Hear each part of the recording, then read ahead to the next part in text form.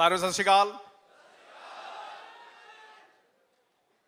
City ਮਾਨੀ ਆ ਰਹੀ ਕਿਸੇ ਨੂੰ?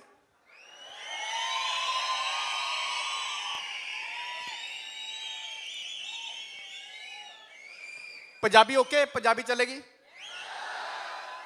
ਐਨੀਬਡੀ ਹਿੰਦੀ ਚਲੋ ਫੇਰ ਵੀ ਕਈਆਂ ਦਾ ਸਮਾਚਾਰ ਇੱਥੇ ਤੱਕ ਨਹੀਂ ਮਿਲ ਰਿਹਾ। ਸਾਰਿਆਂ ਨੂੰ ਹਿੰਦੀ ਦੇ ਵਿੱਚ ਸਤਿ ਸ੍ਰੀ ਅਕਾਲ।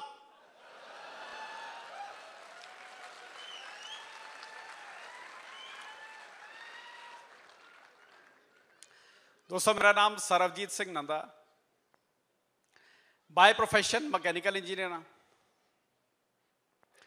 Forever and I am lucky enough ਕਿ ਮੈਨੂੰ ਮੋਰ ਦੈਨ 13 ਇਅਰਸ 13 ਸਾਲ ਤੋਂ ਵੀ ਜ਼ਿਆਦਾ ਹੋ ਗਏ ਹੈ ਫੋਰਐਵਰ ਲਿਵਿੰਗ ਪ੍ਰੋਡਕਟਸ ਦੇ ਨਾਲ।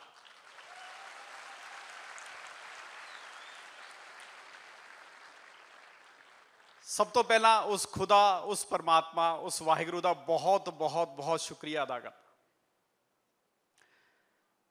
ਕਿ ਜਦੋਂ ਫੋਰਐਵਰ ਮੇਰੇ ਸਾਹਮਣੇ ਆਈ, ਮੈਂ ਉਹਨੂੰ ਐਕਸੈਪਟ ਕੀਤਾ, ਹਾਂ ਐਦਾਂ ਮੇਰਾ ਸਿਰ ਐਦਾਂ ਨਹੀਂ ਗਿਆ। ਕਿਉਂਕਿ ਜੇ ਉਦਾਂ ਹੁੰਦਾ, ਸ਼ਾਇਦ ਮੈਂ ਤੁਹਾਡੇ ਸਾਹਮਣੇ ਖੜਾ ਹੀ ਨਾ ਮੈਂ ਸ਼ੁਕਰਾ ਕਰਦਾ ਆਪਣੀ ਫੈਮਿਲੀ ਦਾ, ਜਿਨ੍ਹਾਂ ਨੇ ਮੈਨੂੰ ਬਹੁਤ ਸਪੋਰਟ ਕੀਤਾ ਔਰ ਖਾਸ ਕਰ ਮੇਰੇ ਵਾਈਫ ਜਿਹੜੇ ਹੁਣੇ ਇੱਥੇ ਹੈਗੇ ਆ ਪ੍ਰੈਜ਼ੈਂਟ ਹੈਗੇ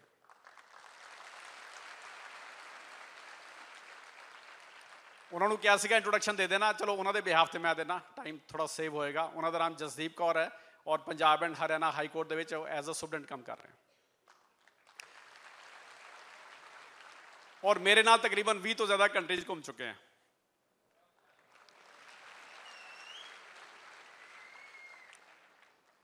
ਕੁਝ ਫਿਲਮਾਂ ਦਾ ਨਾਮ ਲਾਉਂਦਾ ਵੈਸੇ ਮੈਂ ਫਿਲਮਾਂ ਦੇਖਦਾ ਨਹੀਂ ਲੇਕਿਨ ਉਹਨਾਂ ਦੇ ਵਿੱਚ ਇੱਕ ਕਾਮਨ ਚੀਜ਼ ਹੈ ਇੱਕ ਫਿਲਮ ਆਈ ਸੀ ਧੂਮ ਪਤਾ ਸਾਰਿਆਂ ਨੂੰ ਇੱਕ ਆਈ ਸੀਗੀ ਨਿੱਕਾ ਜੈਲਦਾਰ।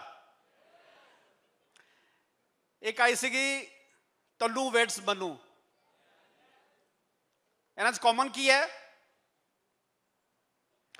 ਇਹ ਸਾਰੀਆਂ ਦੋ ਦੋ ਵਾਰੀ ਬਣੀਆਂ। ਪਾਰਟ 1 ਐਂਡ ਪਾਰਟ 2 ਧੂਮ 1 ਧੂਮ 2 ਨਿੱਕਾ ਜੈਲਦਾਰ ਪਹਿਲਾਂ ਵੀ ਆਈ ਸੀਗੀ, ਹੁਣ ਫੇਰ ਦੁਬਾਰਾ ਫੇਰ ਆ ਗਿਆ। ਤਨੂ ਵੇਟਸ ਬਨੂ ਪਹਿਲਾਂ ਆਈ ਸੀਗੀ, ਦੁਬਾਰਾ ਉਹਦਾ ਅਗਲਾ ਪਾਰਟ ਫੇਰ ਆ ਗਿਆ। ਮੈਂ ਇਸ ਕਰਕੇ ਕਹਿ ਰਿਹਾ ਕਿ ਮੇਰਾ ਇੱਕ ਪਹਿਲਾ ਪਾਰਟ ਪਹਿਲਾਂ ਹੀ YouTube ਤੇ ਹੈਗਾ ਕਿੰਨੇ ਕਿੰਨੇ ਸੁਣਿਆ ਹੋਇਆ ਪਹਿਲਾਂ ਦੇਖਿਆ ਹੋਇਆ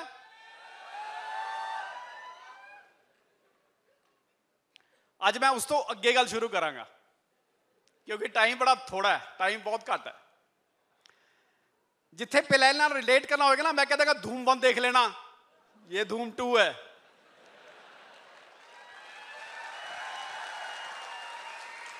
ਓਕੇ ਐਕਸੈਪਟ ਓਕੇ ਦੋਸਤੋ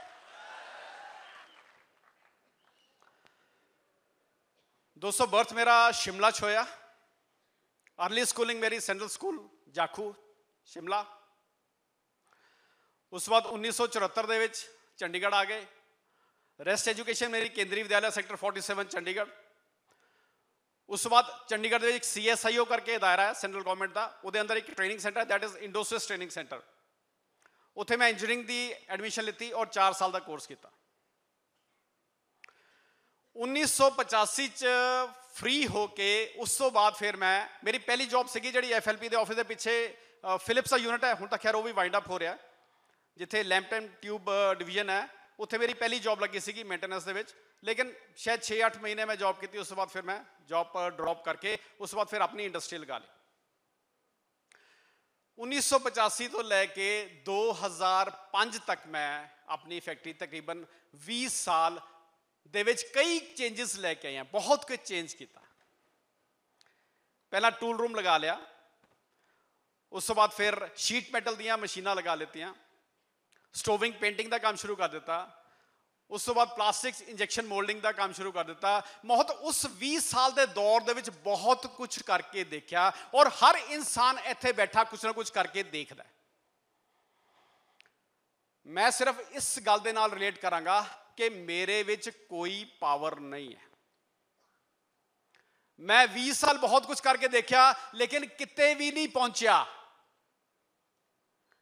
ਆਪਾਂ ਇਸ ਚੀਜ਼ ਨੂੰ ਅੰਡਰਸਟੈਂਡ ਕਰਦੇ ਹਾਂ ਕਿ ਅਸੀਂ ਆਪਣੇ ਦਿਮਾਗ ਦੇ ਨਾਲ ਬਹੁਤ ਕੁਝ ਚੇਂजेस ਕਰਕੇ ਕਰਨ ਦੀ ਕੋਸ਼ਿਸ਼ ਕਰਦੇ ਹਾਂ, ਲੇਕਿਨ ਕਾਮਯਾਬੀ ਕਈ ਵਾਰੀ ਨਹੀਂ ਮਿਲਦੀ। ਫੋਰਐਵਰ ਚ ਕਾਮਯਾਬ ਕਿਉਂ ਹੋ ਗਿਆ? ਕਿਉਂਕਿ ਇਹਦੇ ਚ ਦਿਮਾਗ ਨਹੀਂ ਲਗਾਣਾ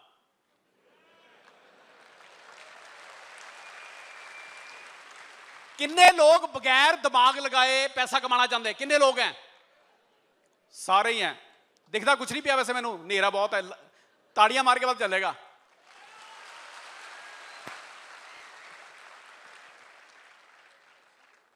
ਆਪਾਂ ਦਿਮਾਗ ਕਿਉਂ ਨਹੀਂ ਲਗਾਣਾ ਕਿਉਂਕਿ ਬਹੁਤ ਬੜੇ ਬੜੇ ਲੋਕਾਂ ਦਾ ਦਿਮਾਗ ਪਹਿਲਾਂ ਇਹਦੇ 'ਚ ਲੱਗਿਆ ਹੋਇਆ ਹੈ ਆਪਾਂ ਸਿਰਫ ਫੋਲੋ ਕਰਨਾ ਹੈ ਸਿਰਫ ਮੱਖੀ ਤੇ ਮੱਖੀ ਮਾਰਨੀ ਹੈ ਮਾਰ ਸਕਦੇ ਆ? ਦੋਸਤੋ ਦਿਸ ਇਜ਼ ਸੋ ਵੰਡਰਫੁਲ ਕਿਉਂਕਿ ਅਗਰ ਮੇਰੇ ਵਿੱਚ ਦਮ ਹੁੰਦਾ ਤੇ ਸ਼ਾਇਦ ਅੱਜ ਵੀ ਮੈਂ ਉਹੀ ਫੈਕਟਰੀਆਂ ਦੇ ਵਿੱਚ ਹੋਏ 30 ਦਿਨ ਤੋਂ 25 ਦਿਨ ਆਪਣੇ ਹੀ ਪੈਸੇ ਮੰਗਤਿਆਂ ਦਰ ਮੰਗਣੇ ਪੈਂਦੇ ਭਾਜੀ ਪੈਸੇ ਦੇ ਦਿਓ ਕਿਰਾਇਆ ਦੇਣਾ ਬਿਜਲੀ ਦਾ ਬਿੱਲ ਆ ਗਿਆ ਵਰਕਰ ਦੀ ਤਨਖਾਹ ਦੇਣੀ ਹੈ ਕਈ ਵਾਰੀ ਮਿਲਦੇ ਸੀ, ਕਈ ਵਾਰੀ ਫੇਰ ਵੀ ਮਿਲ ਸਕੇ। And thanks to Forever living products ਦੋਸਤੋ, ਤੁਹਾਡਾ ਭਾਵੇਂ 1 ਲੱਖ ਦਾ ਚੈੱਕ ਹੈ, ਭਾਵੇਂ 1 ਕਰੋੜ ਦਾ ਚੈੱਕ ਹੈ, ਮੈਨੂੰ 13 ਸਾਲ ਹੋ ਗਏ 15 ਦੀ 16 ਤਰੀਕ ਅੱਜ ਤੱਕ ਕਦੇ ਨਹੀਂ ਹੋਈ।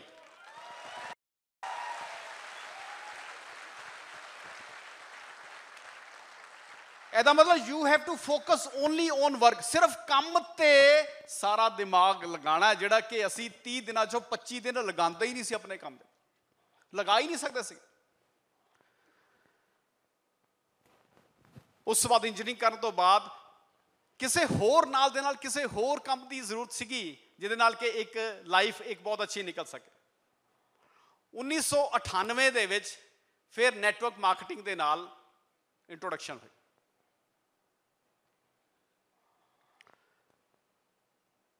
ਸਿੱਖਣ ਦਾ ਮੌਕਾ ਮਿਲਿਆ ਨੈਟ ਤਿੰਨ ਚਾਰ ਸਾਲ ਕਿਸੇ ਕੰਪਨੀ ਦੇ ਨਾਲ ਲੱਗੇ ਰਹੇ ਸਟੇਜ ਤੇ ਵੀ ਆਉਂਦੇ ਰਹੇ, ਭੰਗੜੇ ਵੀ ਪਾਉਂਦੇ ਰਹੇ, ਪੈਸਾ ਨਹੀਂ ਸੀ ਆਉਂਦਾ। ਫਿਰ ਕਦੇ ਇੱਕ ਕੰਪਨੀ, ਕਦੇ ਦੂਈ, ਕਦੇ ਬਾਈਨਰੀ, ਕਦੇ ਆਸਟ੍ਰੇਲੀਅਨ ਬਾਈਨਰੀ, ਕਦੇ ਕਿਹੜੀ, ਕਦੇ ਕਦੇ ਕਿਹੜੇ ਕਈ ਕੁਝ ਤਕਰੀਬਨ 15 ਤੋਂ ਲੈ ਕੇ 20 ਕੰਪਨੀਆਂ ਚੈੱਕ ਕੀਤੀਆਂ। ਕਿਸੇ ਕੋਲ ਜਾਂਦੇ ਸੀ, ਕਹਿੰਦੇ, ਭਾਜੀ 10000 ਰੁਪਏ ਦਿਓ। 10000 ਦੇ ਦਿਆ। ਹੁਣ ਤੁਸੀਂ ਐ ਕਰੋ, ਨੀਚੇ ਤਿੰਨ ਦੇ ਹੋਰ ਦੇ ਦਿਓ, ਤੁਹਾਡੇ ਮੋੜ ਦਿਆਂਗੇ। ਮੇਰੇ ਨਿਕਲੇ, ਉਹਦੇ ਫਸ ਗਏ। ਉਹਨੂੰ ਕਹਿੰਦੇ, ਤੁਸੀਂ ਵੀ ਕੱਢ ਰਹੇ ਆ, ਤਿੰਨ ਦੇ ਹੋਰ ਲਿਆਓ, ਤੁਹਾਡੇ ਦੇ ਦਾਂਗੇ ਥੱਲੇ ਵਾਲੇ ਦੇ ਫਸ ਗਏ।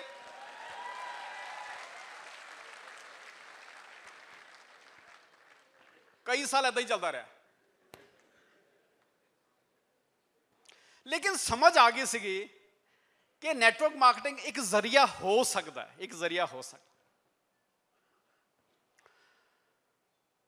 2005 5 ਦੇ ਵਿੱਚ ਮੇਰਾ ਇੰਟਰੋਡਕਸ਼ਨ ਹੋਇਆ ਫੋਰਐਵਰ ਦੇ ਨਾਲ। ਹਾਲਾਂਕਿ ਜੁਆਇਨਿੰਗ ਪਹਿਲਾਂ ਹੋ ਚੁੱਕੀ ਸੀਗੀ। ਮੈਂ ਦਿੱਲੀ ਕਿਸੇ ਕੰਮ ਗਿਆ ਸੀਗਾ ਤੇ ਉੱਥੇ ਸਗੂ ਜੀ ਸੀਗੇ ਐਂਡ ਮਿਸਟਰ ਮੁਨੀ ਸੀਗੇ। ਉਹਨਾਂ ਨੇ ਫ੍ਰੀ ਦਾ ਫਾਰਮ ਹੁੰਦਾ ਹੈ, ਹਰ ਕੋਈ ਭਰ ਦਿੰਦਾ ਹੈ। ਲੇਕਿਨ ਇੱਕ ਐਸਾ ਮੁਕਾਮ ਆ ਗਿਆ ਜਦੋਂ ਫਾਦਰ ਦੀ ਡਾਇਬੀਟੀਜ਼ ਦਾ ਲੈਵਲ 200 ਸਵਾ 200 ਕ੍ਰਾਸ ਹੋਣ ਲੱਗ ਗਿਆ। 250 ਪੌਣੇ 300 250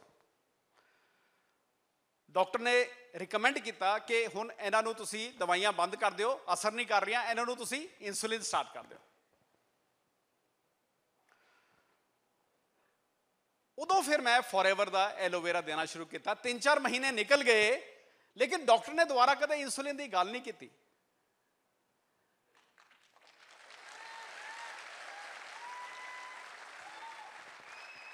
ਜਦੋਂ ਲੈਬੋਰਟਰੀ ਵਾਲਾ ਬੰਦਾ ਜਦੋਂ ਆਂਦਾ ਸੀਗਾ ਉਹਨੂੰ ਪੁੱਛਦਾ ਯਾਰ ਪਹਿਲੇ ਡਾਕਟਰ ਇਨਸੂਲਿਨ ਕਹਿੰਦਾ ਸੀਗਾ ਹੁਣ ਕੀ ਕੋਈ ਗੱਲ ਨਹੀਂ ਹੋ ਰਹੀ?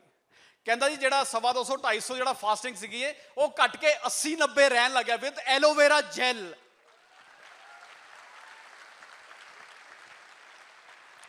ਇਸ ਕਰਕੇ ਤੁਹਾਨੂੰ ਜਿੰਨੇ ਵੀ ਕਿਉਂਕਿ ਮੈਂ ਹੁਣੇ ਦੇਖ ਰਿਹਾ ਸੀਗਾ ਜਦੋਂ ਸਰ ਨੇ ਕਾਲ ਕੀਤਾ ਕਿ ਕਿੰਨੇ ਨਵੇਂ ਹੈ ਕਿੰਨਾ ਨੇ ਏਐਸ ਕੀਤਾ ਤਾਂ ਮੈਨੂੰ ਲੱਗਦਾ ਸ਼ਾਇਦ ਤਕਰੀਬਨ 80% ਤੋਂ ਵੀ ਪਰਸਨ ਨਵੇਂ ਹੈ ਨਵੇਂ। ਨਿਊ ਕਮਰਸ ਹੈ, ਜਿਹੜੇ ਪਹਿਲੀ ਵਾਰੀ ਸਕਸੈਸ ਡੇ ਅਟੈਂਡ ਕਰ ਰਹੇ ਔਰ ਮੇਰਾ ਅੱਜ ਜਿੰਨਾ ਵੀ 15 ਮਿੰਟ ਦਾ ਸੈਸ਼ਨ ਰਹੇਗਾ, ਇਹ ਤੁਹਾਡੇ ਵਾਸਤੇ ਰਹੇਗਾ ਜਿਹੜੇ ਬਿਲਕੁਲ ਨਵੇਂ ਆਏ ਆ ਅੱਜ।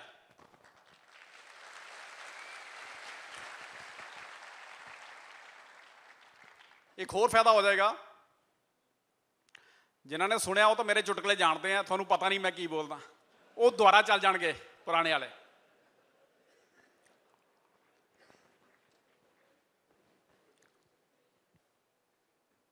ਕਈ ਵਾਰ ਨਾ ਅਸੀਂ ਬਹੁਤ ਜ਼ੋਰ ਲਗਾ ਰਹੇ ਹੁੰਦੇ ਆ ਬਹੁਤ ਜ਼ੋਰ ਲਗਾ ਰਹੇ ਹੁੰਦੇ ਆ ਲੇਕਿਨ ਸਾਨੂੰ ਰਸਤਾ ਨਹੀਂ ਲੱਭ ਰਿਹਾ ਹੁੰਦਾ। ਅਸੀਂ ਬਾਰ-ਬਾਰ ਉਹੀ ਕੰਮ ਕਰੀ ਜਾਂਦੇ ਆ ਲੇਕਿਨ ਰਿਜ਼ਲਟ ਦੇਖਦੇ ਆ ਕੁਝ ਨਹੀਂ ਨਿਕਲ ਰਿਹਾ। ਥੋੜਾ ਜਿਹਾ ਟਵਿਸਟ ਕਰਨ ਦੀ ਜ਼ਰੂਰਤ ਹੁੰਦੀ ਹੈ ਥੋੜਾ ਜਿਹਾ ਡਾਇਰੈਕਸ਼ਨ ਚੇਂਜ ਕਰਨ ਦੀ ਜ਼ਰੂਰਤ ਹੁੰਦੀ ਹੈ। ਇੱਕ ਵਾਰੀ ਦੋ ਸਹੇਲੀਆਂ ਮਿਲੀਆਂ ਆਪਸ 'ਚ।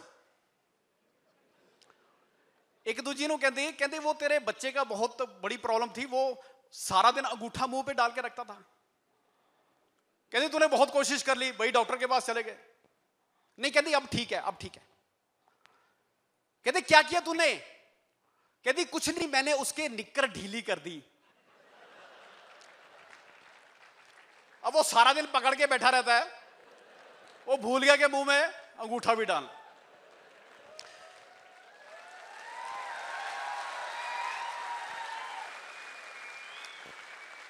ਤੇ ਜਿਹੜੇ ਜਿਹੜੇ ਵੀ ਨੋਟਪੈਡ ਲੈ ਕੇ ਆਏ ਆ, ਮੈਂ ਕੁਝ ਗੱਲਾਂ ਕਰਾਂਗਾ ਜਿਹੜੀਆਂ ਕਿ ਨੋਟ ਕਰਨ ਨਾਲ ਹੋਣਗੀਆਂ ਤੁਸੀਂ ਜ਼ਰੂਰ ਲਿਖਦੇ ਰਹੋ, ਕਿਉਂਕਿ ਯਾਦ ਆ ਜਾਣਗੇ ਤੁਸੀਂ ਰਿਲੇਟ ਕਰ ਪਾਓਗੇ ਕਿ ਮੈਂ ਕਿਸ ਬਿਹਾਫ ਤੇ ਗੱਲ ਕਰ ਰਿਹਾ ਸੀ।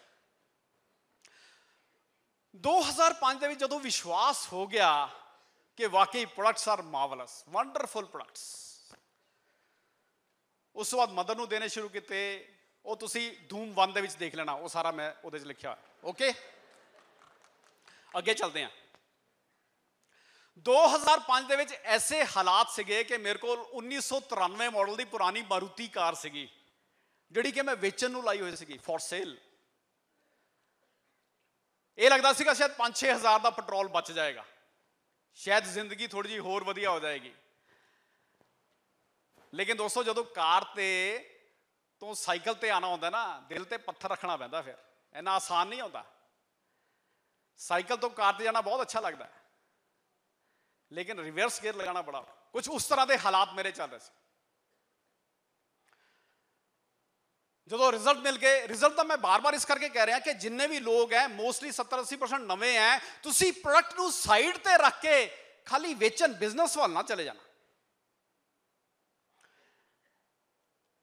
ਕਿਉਂਕਿ ਇਹ ਬਹੁਤਾ ਦਿਮਾਗ ਵਾਲਾ ਕੰਮ ਨਹੀਂ ਹੈ ਜਦ ਤੱਕ ਫੇਥ ਨਹੀਂ ਹੋਏਗਾ ਨਾ ਇਹ ਜਦ ਤੱਕ ਦਿਲੋਂ ਨਹੀਂ ਨਿਕਲੇਗਾ ਅਸਰ ਨਹੀਂ ਕਰੇਗਾ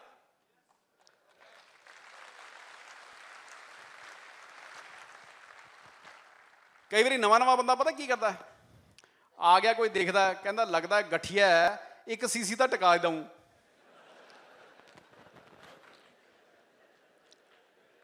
That is not caring ਤੁਸੀਂ ਮਿਸਟਰ ਰੈਕਸ ਦੀ ਬਾਰ-ਬਾਰ ਸਟੇਟਮੈਂਟ ਦੇਖੋਗੇ, ਉੱਥੇ ਲੱਗਾ ਇਹ ਕੇਅਰਿੰਗ ਵਾਲਾ ਬਿਜ਼ਨਸ ਹੈ। ਦਿਸ ਇਜ਼ ਟੂ ਕੇਅਰ ਜਦੋਂ ਕੋਈ ਪਰਸਨ ਆ ਜਾਏ ਜਿਹਦੇ ਕੋਲ ਇੰਨਾ ਹਾਲਾਤ ਠੀਕ ਨਹੀਂ ਹੈ, ਤੁਸੀਂ ਰੱਬ ਨੂੰ ਅਰਦਾਸ ਕਰਕੇ ਉਹਨੂੰ ਭਾਵੇਂ ਜੈਲ ਨੈਕਟਰ ਪਕੜਾ ਦਿਓ ਔਰ ਰੱਬ ਦੇ ਅੱਗੇ ਅਰਦਾਸ ਕਰੋ, ਹੇ ਰੱਬਾ ਜੈਲ ਦੇ ਵਿੱਚੋਂ ਇੰਨੀ ਤਾਕਤ ਪਾ ਦੇ, ਇਹ ਬੰਦਾ ਠੀਕ ਹੋ ਜਾਏ।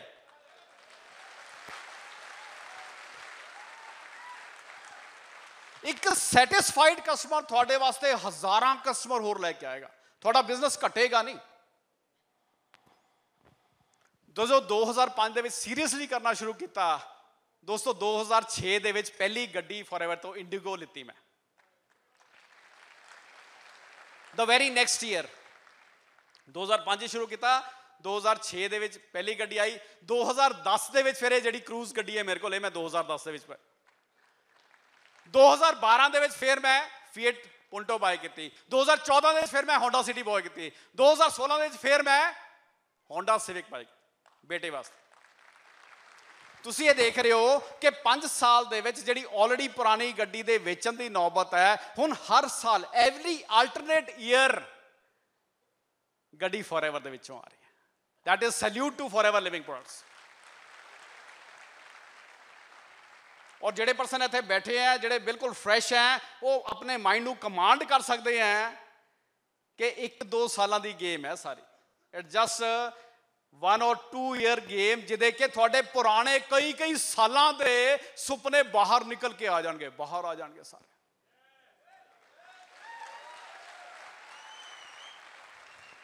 ਲੇਕਿਨ ਫਿਰ ਉਸੇ ਗੱਲ ਤੇ ਆਣਾ ਕਿ ਸਮਾਨ ਨੂੰ ਸਾਈਡ ਤੇ ਰੱਖ ਕੇ ਖਾਲੀ ਵੇਚਣ ਵਾਲੇ ਪਾਸੇ ਨਾ ਲੱਗੇ।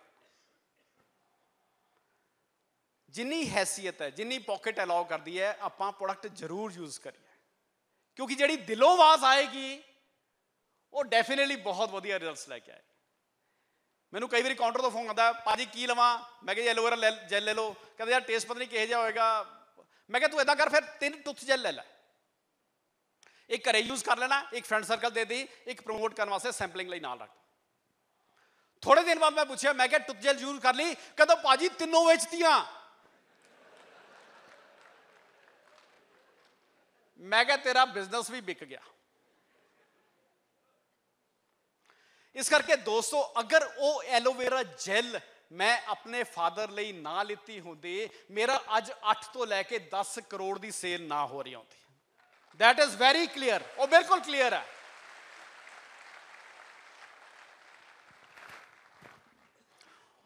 ਉਸ ਤੋਂ ਬਾਅਦ ਫਿਰ ਸ਼ੁਰੂ ਹੋ ਗਿਆ। ਫਿਰ ਤਾਂ ਬਹੁਤ ਕੁਝ ਦੋਸਤੋ। 2007 ਦੇ ਵਿੱਚ ਪਹਿਲਾ domestic tour Caravela, Ramada hotel Goa, ਕਦੇ ਨਹੀਂ ਭੁੱਲਦਾ ਉਹ, ਕਦੇ ਨਹੀਂ ਭੁੱਲਦਾ। That is that was first ਔਰ ਜਦੋਂ ਤੁਸੀਂ ਕੰਪਨੀ ਦਾ ਕੋਈ ਵੀ ਟੂਰ ਲਓਗੇ, ਤੁਸੀਂ ਇਹ ਆਪਣੇ ਨਾਲ ਔਰ ਫੈਮਿਲੀ ਨਾਲ ਇਹ ਡਿਸਾਈਡ ਕਰਕੇ ਜਾਓਗੇ ਕਿ ਅੱਜ ਤੋਂ ਬਾਅਦ ਜ਼ਿੰਦਗੀ 'ਚ ਕਦੇ ਵੀ ਡੋਮੈਸਟਿਕ ਟੂਰ ਮੈਂ ਕਦੇ ਵੀ ਫੇਲ ਨਹੀਂ, ਮੈਂ ਕਦੇ ਵੀ ਨਹੀਂ ਛੱਡਣਾ।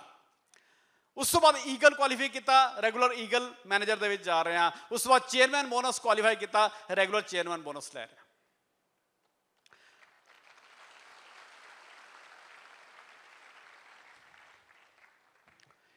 ਇਹ ਬਾਕੀ ਦਾ ਸਾਰਾ ਪ੍ਰੋਸੈਸ ਤੁਸੀਂ ਧੂਮ 1 ਚ ਦੇਖ ਲੈਣਾ।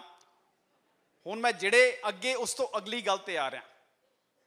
ਖਾਸ ਕਰ ਜਿਹੜੀ ਮੈਂ ਤੁਹਾਨੂੰ ਕਮਿਟ ਕੀਤਾ ਸੀਗਾ, ਜਿਹੜੇ ਨਵੇਂ ਪਰਸਨ ਆਏ ਆ, ਜਿਹੜੇ ਅਜੇ ਏਐਸ ਬਣੇ ਆ ਜਾਂ ਜਿਹੜੇ ਡਿਸਟ੍ਰੀਬਿਊਟਰ ਬਣੇ ਆ ਜਾਂ ਜਿਨ੍ਹਾਂ ਨੇ ਫਾਰਮ ਭਰਿਆ ਜਾਂ ਕਈ ਐਸੇ ਵੀ ਹੋਣੇ ਜਿਨ੍ਹਾਂ ਨੇ ਫਾਰਮ ਹੀ ਨਹੀਂ ਭਰਿਆ। ਤੁਹਾਨੂੰ ਮੈਂ ਬਹੁਤ ਸਿੰਪਲ ਜਿਹਾ ਲੌਜੀਕ ਦੱਸਦਾ ਕਿ ਜਦੋਂ ਵੀ ਆਪਾਂ ਜ਼ਿੰਦਗੀ ਤੇ ਜਾਓਗੇ, ਤੁਹਾਨੂੰ ਚਾਰ ਤਰ੍ਹਾਂ ਦੇ ਲੋਕ ਮਿਲਣਗੇ। ਸਭ ਤੋਂ ਪਹਿਲੀ ਤਰ੍ਹਾਂ ਦਾ ਲੋਕ ਤੁਹਾਨੂੰ ਮਿਲਣਗੇ ਕਿ ਜਿਨ੍ਹਾਂ ਦੀ ਜ਼ਿੰਦਗੀ ਦੇ ਵਿੱਚ ਕਦੇ ਫੋਰਐਵਰ ਆਏਗੀ ਨਹੀਂ। ਤੁਸੀਂ ਬਹੁਤ ਸਾਰੇ ਲੋਕ ਦੇਖੋਗੇ ਜਾਂ ਮੈਂ ਆਪਣੇ ਪੇਰੈਂਟਸ ਦੀ ਗੱਲ ਕਰ। ਜਿੱਥੇ ਜੌਬ ਕੀਤੀ, ਉੱਥੋਂ ਹੀ ਰਿਟਾਇਰਮੈਂਟ ਲੈਤੀ। ਮਦਰ ਟੀਚਰ ਸੀਗੇ, ਉਹੀ ਸਕੂਲ ਤੋਂ ਰਿਟਾਇਰਮੈਂਟ ਲੈ ਲਈ। ਫਾਦਰ ਅਕਾਊਂਟੈਂਟ ਜਨਰਲ ਸੀਗੇ ਪੰਜਾਬ ਦੇ ਵਿੱਚ, ਉੱਥੋਂ ਹੀ ਰਿਟਾਇਰਮੈਂਟ ਲੈ ਲਈ। ਬਹੁਤ ਸਾਰੀ ਐਸੀ ਦੁਨੀਆ ਤੁਹਾਡੇ ਵੀ ਜ਼ਿਹਨ ਦੇ ਵਿੱਚ ਆ ਜਾਏਗੀ, ਜਿਨ੍ਹਾਂ ਦੀ ਜ਼ਿੰਦਗੀ 'ਚ ਕਦੇ ਫੋਰਐਵਰ ਨਹੀਂ ਆਏ। And we are lucky enough ਤੁਸੀਂ ਆਪਣੇ ਵਾਸਤੇ ਬਹੁਤ ਜ਼ੋਰਦਾਰ ਤਾੜੀਆਂ ਮਾਰ ਸਕਦੇ ਹੋ ਕਿ ਅਸੀਂ ਪਹਿਲੀ ਕੈਟਾਗਰੀ ਤਾਂ ਹੈ ਨਹੀਂ ਐਟਲੀਸਟ ਆਪਾਂ ਇੱਥੇ ਬੈਠੇ ਹਾਂ। ਸੈਕੰਡ ਕੈਟਾਗਰੀ ਆਏਗੀ, ਜਿਹਦੇ ਕਿ ਉਹਨਾਂ ਦੇ ਜ਼ਿਹਨ ਦੇ ਵਿੱਚ ਫੋਰਐਵਰ ਆਏਗੀ, ਉਹਨਾਂ ਦੇ ਕੋਲ ਦੀ ਲੰਘ ਕੇ ਜਾਏਗੀ, ਲੇਕਿਨ ਕਦੇ ਪਕੜਨ ਦੀ ਕੋਸ਼ਿਸ਼ ਨਹੀਂ ਕਰਨਗੇ। ਬਹੁਤ ਸਾਰੇ ਲੋਕਾਂ ਨੂੰ ਤੁਸੀਂ ਅੱਜ ਵੀ ਬੁਲਾਇਆ ਹੋਣਾ। ਕਹਿੰਦੇ ਆਪ ਪਹੁੰਚੋ, ਮੈਂ ਆ ਰਹਾ ਹੂੰ। ਨਹੀਂ ਆਣਗੇ। ਬਹੁਤ ਸਾਰੇ ਮੀਟਿੰਗਸ ਬੁਲਾਉਂਦੇ ਹੋ, ਕਹਿ ਦਿੰਦੇ ਆ, ਲੇਕਿਨ ਨਹੀਂ ਆਉਂਦੇ।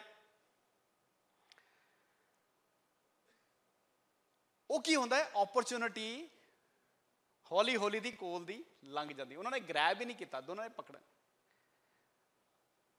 ਔਰ ਡੈਫੀਨਿਟਲੀ ਮੈਨੂੰ ਇਹ ਤਾਂ ਨਹੀਂ ਪਤਾ ਤੁਹਾਡੇ ਚੋਂ ਕਿੰਨੇ ਐਸੇ ਲੋਕ ਹੈ ਲੇਕਿਨ ਆਪਾਂ ਜ਼ਰੂਰ ਕਹਿ ਸਕਦੇ ਕਿ ਆਪਾਂ ਇਹ ਸਾਰੀ ਓਪਰਚੁਨਿਟੀ ਨੂੰ ਦੇਖ ਰਹੇ ਹਾਂ। ਐਟ ਲੀਸਟ ਸਾਡੇ ਕੋਲ ਇਹ ਸੈਕੰਡ ਕੈਟਾਗਰੀ ਵੀ ਨਹੀਂ ਹੈ। We can clap for this also ਤੀਸਰੀ ਕੈਟਾਗਰੀ ਬੜੀ ਖਤਰਨਾਕ ਹੁੰਦੀ ਹੈ। ਕਹਿੰਦੇ ਨਾ, ਜਾਂ ਤਾਂ ਇਹਨੂੰ ਕਰ ਲਓ ਤੁਸੀਂ ਫੁੱਲ ਟਾਈਮ ਤੇ ਜਾਂ ਤਾਂ ਕਰ ਲਓ ਇਹਨੂੰ ਪਾਰਟ ਟਾਈਮ ਲੇਕਿਨ ਬਹੁਤ ਸਾਰੇ ਐਸੇ ਹੁੰਦੇ ਆ ਜੋ ਇਹਨੂੰ ਕਰਦੇ ਆ ਸਮ ਟਾਈਮ ਸਮ ਟਾਈਮ ਆਗੇ 6 ਮਹੀਨੇ ਨਹੀਂ ਆਏ। ਏਐਸ ਵੀ ਕਰ ਲਿਆ ਸੁਪਰਵਾਈਜ਼ਰ ਕਰ ਲਿਆ, ਗਾਇਬ ਹੋ ਗਏ। ਕਈ ਏਐਮ ਵੀ ਕਰਦੇ ਆ ਮੈਨੇਜਰ ਕਰਦੇ ਆ ਗਾਇਬ ਹੋ ਜਾਂਦੇ ਆ। ਲੱਭਦੇ ਹੀ ਨਹੀਂ।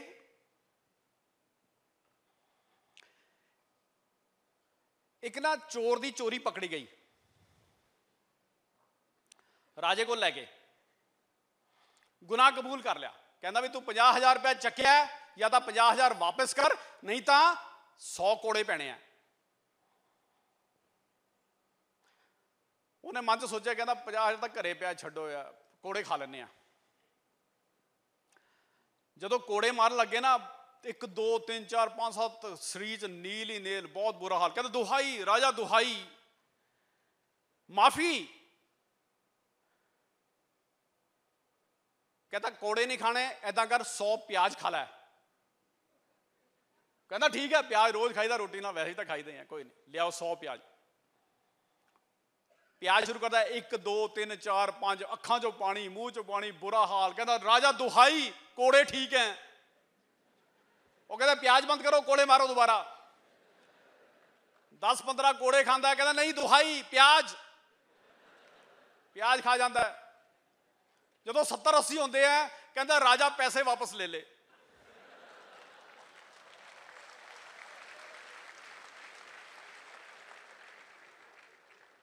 ਜੇ ਦੋਸਤੋ ਇੱਕ ਪਲੇਟਫਾਰਮ ਮਿਲ ਗਿਆ ਔਰ ਮਿਹਨਤ ਕਰਕੇ ਜ਼ਿੰਦਗੀ ਬਦਲ ਸਕਦੀ ਹੈ, ਬਲਕਿ ਆਉਣ ਵਾਲੀ ਜਨਰੇਸ਼ਨ ਦੀ ਵੀ ਬਦਲੀ ਜ਼ਿੰਦਗੀ ਬਦਲ ਸਕਦੀ ਹੈ, ਮਿਹਨਤ ਕਰਨੀ ਚਾਹੀਦੀ ਹੈ?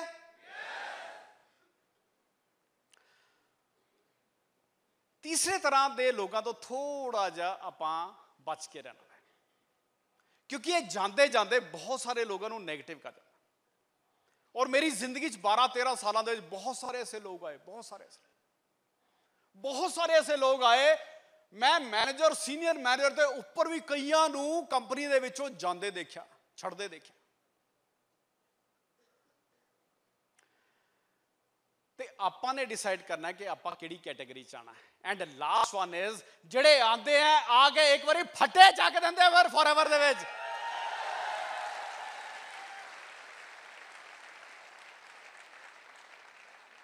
ਪੂਰੇ ਸਿਸਟਮ ਜਾਂਦੇ ਆ ਚੀਜ਼ ਨੂੰ ਅੰਡਰਸਟੈਂਡ ਕਰਦੇ ਆ, ਕੀ ਕਰਨਾ ਹੈ ਸਟੈਪ ਵਾਈਜ਼ ਅੰਡਰਸਟੈਂਡ ਕਰਨਗੇ, ਸਮਝਣਗੇ ਸਾਰੀ ਚੀਜ਼ ਨੂੰ।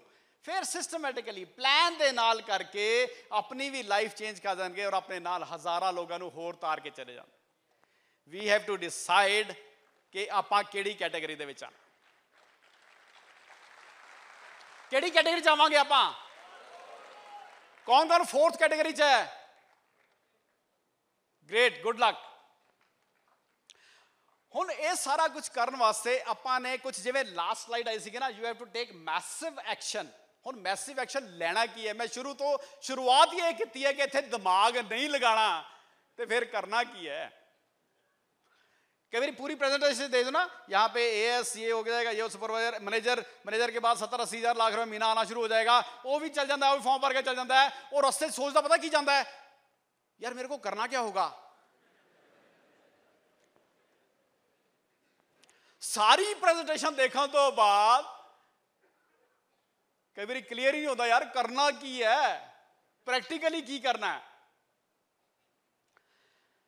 ਸਭ ਤੋਂ ਪਹਿਲਾ ਕੰਮ ਤੁਹਾਡੇ ਵਾਸਤੇ that ਇਜ਼ ਵੈਰੀ ਸਿੰਪਲ ਔਰ ਤੁਸੀਂ ਇਕੱਲਿਆਂ ਨੇ ਕਰਨਾ ਹੈ, ਆਪਣੀ ਫੈਮਿਲੀ ਦੇ ਨਾਲ ਬੈਠ ਕੇ। That is to set a target ਇੱਕ ਟਾਰਗੇਟ ਸੈੱਟ ਕਰਨਾ ਇੱਕ ਜਨੂਨ ਜਗਾਣਾ ਹੈ। ਇੱਕ ਟੀਚਾ ਰੱਖਣਾ ਹੈ ਆਪਣਾ ਜ਼ਿੰਦਗੀ ਦਾ। ਫੇਰ ਕੰਮ ਸ਼ੁਰੂ ਹੋਏਗਾ। ਬਗੈਰ ਟਾਰਗੇਟ ਤੇ ਨਹੀਂ ਹੋਏ ਕੁਝ ਵੀ ਨਹੀਂ ਹੋਏਗਾ ਕੁਝ ਵੀ ਨਹੀਂ ਹੋਏਗਾ। ਜ਼ੀਰੋ ਟਾਈਮ ਤੁਸੀਂ ਆਪਣਾ ਵੀ ਵੇਸਟ ਕਰੋਗੇ, ਆਪਣਾ ਦਾ ਵੀ ਵੇਸਟ ਕਰੋਗੇ।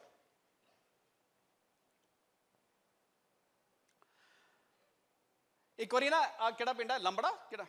ਐਦਾਂ ਕਿਸੇ ਪਿੰਡ ਦੇ ਨਾ ਸਰਪੰਚ ਸਾਰੇ ਇਕੱਠੇ ਹੋਏ।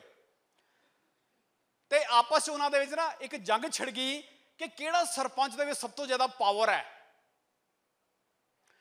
ਉਹਨਾਂ ਦਾ ਡਿਸਾਈਡ ਹੋਇਆ ਕਿ ਆਪਣੇ ਆਪਣੇ ਪਿੰਡ ਚੋਂ ਸਾਰੇ ਸਭ ਤੋਂ ਤਗੜਾ ਘੋੜਾ ਲੈ ਕੇ ਆਓ। ਠੋਕਰੀ ਠੋਕਰੀ ਖਾ ਕੇ ਉੱਠੀਏ ਬੱਲਿਆ ਪੈਰ ਪਿੱਛੇ ਨਾ ਪੁੱਟੀਏ। ਠੋਕਰੀ ਠੋਕਰੀ ਖਾ ਕੇ ਉੱਠੀਏ ਬੱਲਿਆ ਪੈਰ ਪਿੱਛੇ ਨਾ ਕਹਿੰਦੇ ਸਭ ਤੋਂ ਤਗੜਾ ਘੋੜਾ ਲੈ ਕੇ ਆਓ ਉਹਨਾਂ ਦੀ ਰੇਸ ਲਗਾਵਾਂਗੇ। ਜਿਹੜਾ ਘੋੜਾ ਸਭ ਤੋਂ ਤੇਜ਼ ਮੰਗੇਗਾ ਉਹ ਜਿੱਤ ਗਿਆ। ਉਹ ਸਰਪੰਚ ਸਭ ਤੋਂ ਤਾਕਤਵਰ।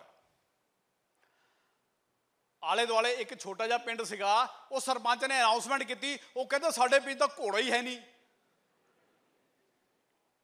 ਕਹਿੰਦਾ ਘੋੜੇ ਵਰਗਾ ਕੋਈ ਹੋਰ ਹੈਗਾ, ਕੋਈ ਚੀਜ਼? ਕਹਿੰਦਾ ਖੋਤਾ ਇੱਕ ਤਕੜਾ ਜਿਹਾ ਥੋੜਾ ਜਿਹਾ। ਕਹਿੰਦਾ ਲਿਆ, ਉਹਨੂੰ ਹੀ ਲਿਆ। ਉਹ ਤਾਂ ਪੇਂਟ ਪੂੰਟ ਕੀਤਾ, ਉਹਨੂੰ ਸਮਝਾਇਆ ਮਾੜਾ ਜਿਹਾ, ਵੀ ਕਾਕਾ ਰੇਸ ਹੈ, ਜਿੱਤਣਾ ਹੈ ਤੂੰ। ਸਾਰੇ ਲਾਈਨ 'ਚ ਖੜ ਗਏ। ਹੁਣ ਖੋਤਾ ਖੜਾ ਇੱਧਰ ਦੇਖਦਾ, ਇੱਧਰ ਵੀ ਘੋੜਾ, ਇੱਧਰ ਵੀ ਘੋੜਾ। ਉਹਦਾ ਮੋਰੇਲ ਡਾਊਨ ਹੋ ਗਿਆ। ਉਹਦੇ ਸਰਪੰਚ ਨੇ ਆ ਕੇ ਸਮਝਾਇਆ, ਕਾਕਾ, ਜਿੱਤਣਾ ਹੀ ਜਿੱਤਣਾ ਮੇਰੀ ਇੱਜ਼ਤ ਦਾ ਸਵਾਲ ਹੈ। ਉਹਦਾ ਟਾਈਮ ਹੋ ਗਿਆ। ਜਦੋਂ ਰੈਫਰੀ ਨੇ ਸਿਟੀ ਮਾਰੀ, ਸਰਪੰਚ ਨੇ ਕੀ ਕੀਤਾ? ਮਿਰਚਾਂ ਦੀ ਬੁੱਕ ਲਿੱਤੀ, ਉਹਦੇ ਪਿੱਛੇ ਸੁੱਟ ਦਿੱਤੀ।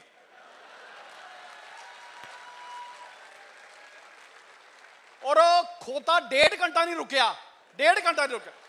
क्यों? मकसद मिल गया, मकसद, टारगेट मिल गया।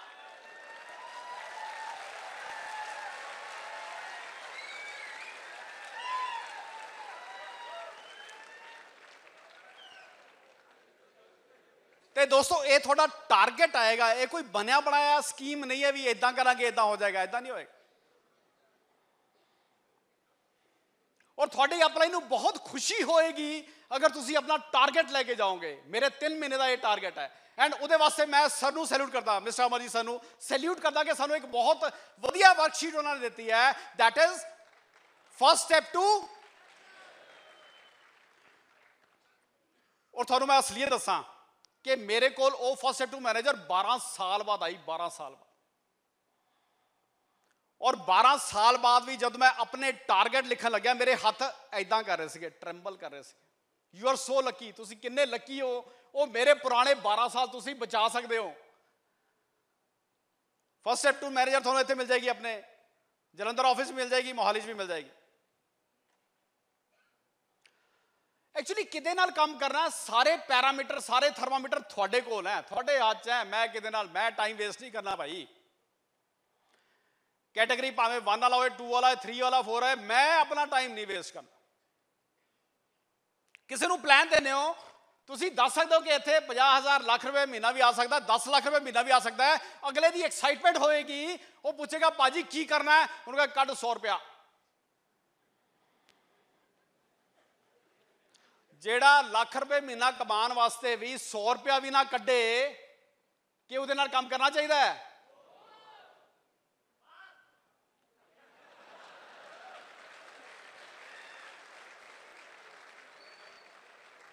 ਸਭ ਤੋਂ ਪਹਿਲਾਂ ਟਾਰਗੇਟ ਲਿਖਾਓ ਕਿਉਂ ਕਿਉਂਕਿ ਪਹਿਲਾ ਕੰਮ ਹੀ ਟਾਰਗੇਟ ਹੈ ਇਹ ਟਾਰਗੇਟ ਕਿਉਂ ਜ਼ਰੂਰੀ ਹੈ ਧੂਮ ਮੰਚ ਦੇਖ ਲੈਣਾ ਉਹ ਚ ਬਹੁਤ ਮੈਂ ਟਾਰਗੇਟ ਬਾਰੇ ਬੜੀ ਗੱਲ ਕੀਤੀ ਹੈ ਜਦੋਂ ਟਾਰਗੇਟ ਤੁਸੀਂ ਸੈੱਟ ਕਰ ਲੋਗੇ ਹੁਣ ਅਗਲਾ ਕੰਮ ਆ ਜਾਏਗਾ that is to make a list list ਬਣਾਣੀ ਸਭ ਤੋਂ ਜ਼ਿਆਦਾ ਜ਼ਰੂਰੀ ਹੈ ਇਸ ਬਿਜ਼ਨਸ ਦੇ ਵਿੱਚ ਬਾਕੀ ਬਿਜ਼ਨਸ ਦਾ ਮੈਨੂੰ ਪਤਾ ਨਹੀਂ ਲੇਕਿਨ ਇਸ ਬਿਜ਼ਨਸ ਦੇ ਵਿੱਚ ਲਿਸਟ ਬਣਾਣੀ ਬੜੀ ਜ਼ਰੂਰੀ ਹੈ, ਕਿਉਂਕਿ ਲਿਸਟ ਦੇ ਉੱਪਰ ਹੀ ਸਾਰਾ ਕੰਮ ਹੋਏਗਾ। ਇਹ ਬਹੁਤ ਲੰਬਾ ਟੌਪਿਕ ਹੈ। ਮੈਂ ਤਕਰੀਬਨ 6 ਘੰਟੇ ਵਾਲਾ ਸੈਮੀਨਾਰ ਤੁਹਾਨੂੰ 15 ਮਿੰਟ ਚ ਸੁਣਾਉਣ ਦੀ ਕੋਸ਼ਿਸ਼ ਕਰ ਰਿਹਾ।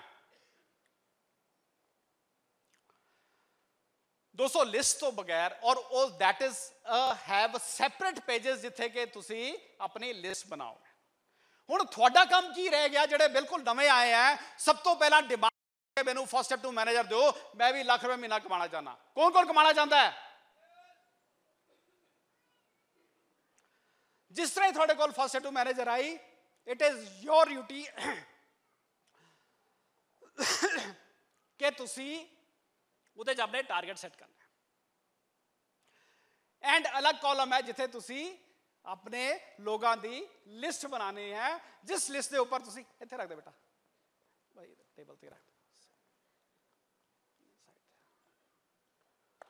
ਹਵਾ 'ਚ ਨਹੀਂ ਗੱਲਾਂ ਹੁਣ ਮੈਂ ਡੂਮ ਵੰਚ ਵੀ ਦੱਸਿਆ ਹੈ ਕਿ ਕਈ ਲਿਸਟ ਪਤਾ ਕਿੱਥੇ ਬਣਾਉਂਦੇ ਆ? ਚੂਰਨ ਦੀ ਪਰਚੀ ਪਿੱਛੇ ਨਾਮ ਲਿਖ ਲੈਂਦੇ ਆ। ਬੱਸ ਦੀ ਟਿਕਟ ਪਿੱਛੇ ਨਾਮ ਲਿਖਦੇ ਉਹ ਪਰਚੀਆਂ ਵੀ ਉੜ ਜਾਂਦੀਆਂ ਬਿਜ਼ਨਸ ਵੀ ਉੜ ਜਾਂਦੇ ਆ। ਇਸ ਕਰਕੇ ਬਹੁਤ ਵਧੀਆ ਜੀ ਫਸਟ ਸਟੈਪ ਟੂ ਮੈਨੇਜਰ ਲਓ। ਉਹਨੂੰ ਭਾਵੇਂ ਕਵਰ ਚੜਾ ਲਓ, ਉੱਪਰ ਆਪਣਾ ਨਾਮ ਲਿਖ ਲਓ। This is my personal book ਔਰ ਤੁਹਾਡੀ ਅਪਲਾਈ ਨੂੰ ਉਸ ਦਿਨ ਸਭ ਤੋਂ ਜ਼ਿਆਦਾ ਖੁਸ਼ੀ ਹੋਏਗੀ। ਜਿਸ ਦਿਨ ਤੁਸੀਂ ਲਿਸਟ ਦੇ ਵਿੱਚ ਨਾਮ ਲਿਖ ਕੇ ਆਪ ਲੈ ਕੇ ਜਾਓਗੇ। ਪਾਜੀ ਇਹ ਮੇਰੀ ਲਿਸਟ ਹੈ। ਅੱਗੇ ਦੱਸੋ ਕੀ ਕਰਨਾ ਹੈ। ਉਸ ਤੋਂ ਬਾਅਦ ਫਿਰ ਨੈਕਸਟ ਸਟੈਪ ਆਏਗਾ ਕਿ you have to invite some people ਕੁਝ ਲੋਕਾਂ ਨੂੰ ਤੁਸੀਂ ਇਨਵਾਈਟ ਕਾਦੇ ਵਾਸਤੇ ਇਨਵਾਈਟ ਕਰਨਾ ਹੈ? ਪਲਾਨ ਸ਼ੋ ਕਰਨ ਵਾਸਤੇ। ਔਰ ਕੋਸ਼ਿਸ਼ ਇਹ ਰਹਿਣੀ ਚਾਹੀਦੀ ਹੈ ਕਿ ਮੈਂ ਆਪਣੀ ਅਪਲਾਈ ਨੂੰ 2 3 4 ਵਾਰੀ ਯੂਜ਼ ਕਰਾਂ। ਅਪਲਾਈ ਨੂੰ ਯੂਜ਼ ਕਰਾਂ ਮਿਸਯੂਜ਼ ਨਾ ਕਰਾਂ। ਕਈ ਵਾਰੀ ਅਪਲਾਈ ਨੂੰ ਨਾਲ ਲੈ ਕੇ ਜਾਂਦੇ ਆ ਅਪਲਾਈਨ ਪਲਾਨ ਦੇਖ ਰਹੀ ਹੁੰਦੀ ਹੈ। ਬੰਦਾ ਫੋਟੋਆਂ ਦੇਖ ਰਿਹਾ ਹੁੰਦਾ ਹੈ। ਆਲੇ ਦੁਆਲੇ ਕੀ ਹੋ ਰਿਹਾ ਹੈ? ਸਮੋਸੇ 'ਚ ਮਿਰਚ ਜ਼ਿਆਦਾ ਸੀਗੀ। ਚਾਹ ਠੰਡੀ ਬੁਲਾਤੀ ਤੁਸੀਂ ਬੜਾ ਸਪੈਸ਼ਲ ਟਾਈਮ ਲੈ ਰਹੇ ਹੋ ਆਪਣੀ ਅਪਲਾਈਨ ਦਾ। ਔਰ ਤੁਸੀਂ ਇਹ ਦੇਖਣਾ ਹੈ ਕਿ ਕਿਸ ਪ੍ਰੋਫਾਈਲ ਦੇ ਬੰਦੇ ਨੂੰ ਕਿੱਥਾਂ ਸ਼ੁਰੂ ਕਰ ਰਹੇ ਆ ਔਰ ਕਿਸ ਤਰ੍ਹਾਂ ਉਹ ਐਂਡ ਕਰ ਰਹੇ ਆ। ਕਿਉਂਕਿ ਐਂਡ ਆਫ ਦਾ ਡੇ ਅਗਰ ਪਲਾਨ ਤੁਹਾਡਾ ਹੋਏਗਾ ਤਾਂ ਬਿਜ਼ਨਸ ਤੁਹਾਡਾ ਚੱਲੇਗਾ। ਅਗਰ ਪਲਾਨ ਅਪਲਾਈਨ ਦਾ ਹੋਏਗਾ ਤਾਂ ਬਿਜ਼ਨਸ ਅਪਲਾਈਨ ਦਾ ਚੱਲੇਗਾ।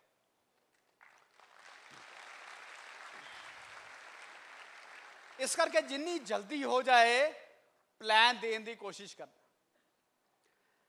ਮੈਂ ਕਿਤੇ ਬਹੁਤ ਅੱਛੀ ਜਗ੍ਹਾ ਤੇ ਅੱਛੇ ਸੈਮੀਨਾਰ ਤੇ ਸੁਣਿਆ ਸੀਗਾ, ਉਹ 'ਚ ਇਹ ਲਿਖਿਆ ਸੀਗਾ ਕਿ one who shows maximum plan wins ਇੱਕ ਇਨਸਾਨ ਜੋ ਸਭ ਤੋਂ ਜ਼ਿਆਦਾ ਪਲਾਨ ਸ਼ੋ ਕਰੇਗਾ, ਜਿੱਤ ਜਾਏਗਾ। ਇਹ 'ਚ ਕਿਤੇ ਵੀ ਨਹੀਂ ਲਿਖਿਆ ਜਿਹੜਾ ਬਹੁਤ ਵਧੀਆ ਪਲਾਨ ਸ਼ੋ ਕਰੇਗਾ, ਉਹ ਜਿੱਤੇਗਾ। ਇੱਥੇ ਨਹੀਂ ਲਿਖਿਆ। ਮੈਂ ਸਾਰੇ ਦੇ ਇੱਕ ਪਲਾਨ ਦੇਣਾ। ਲੈਪਟਾਪ ਕੱਢ ਕੇ ਔਰ ਬਣਾ ਕੇ ਸਾਰਾ ਕੁਝ ਦੇਣਾ। ਘੰਟਾ, ਡੇਢ ਘੰਟਾ ਲਾ ਕੇ ਮੇਰੀ ਕਾਮਯਾਬੀ ਦੇ ਕੋਈ ਚਾਂਸ ਨਹੀਂ ਹੈ। ਇੱਕ ਦੇਸੀ ਭਾਊ ਆਂਦਾ ਉਹ ਸੱਪ ਸੀੜੀ ਜੀ ਬਣਾਉਂਦਾ ਹੈ, ਇੱਥੇ ਜਾ ਕੇ ਇੱਥੇ 1 ਲੱਖ ਰੁਪਏ ਮਿਲ ਜਾ। ਲੇਕਿਨ ਰੋਜ਼ ਦੇ 15 20 ਪਲਾਨ ਸ਼ੋਅ ਕਰਦਾ ਹੈ ਉਹਦੇ ਜਿੱਤਣ ਦੇ ਪੂਰੇ ਚਾਂਸਸ ਹੈ।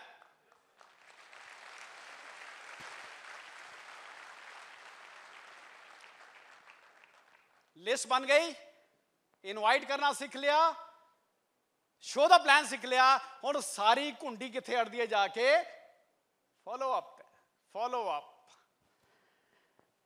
ਉਹ ਬੜਾ ਟੈਕਨੀਕਲ ਜਿਹਾ ਕੰਮ ਹੈ। ਲੇਕਿਨ ਉਹ ਬੜਾ ਜ਼ਰੂਰੀ ਹੈ। ਤੁਹਾਨੂੰ ਰਿਜ਼ਲਟ ਫੋਲੋ ਅਪ ਤੇ ਮਿਲਣਗੇ। ਉਹਨੂੰ ਉਸ ਚੀਜ਼ ਨੂੰ ਅੰਡਰਸਟੈਂਡ ਕਰਨਾ ਹੈ। ਕਿਉਂਕਿ ਕੋਈ ਵੀ ਪਰਸਨ ਆਪਣੇ ਆਪ ਨਹੀਂ ਤੁਹਾਡੇ ਕੋਲ ਆਏਗਾ। ਤੁਹਾਨੂੰ ਜਾਣਾ ਪਏਗਾ ਇੱਕ ਵਾਰੀ।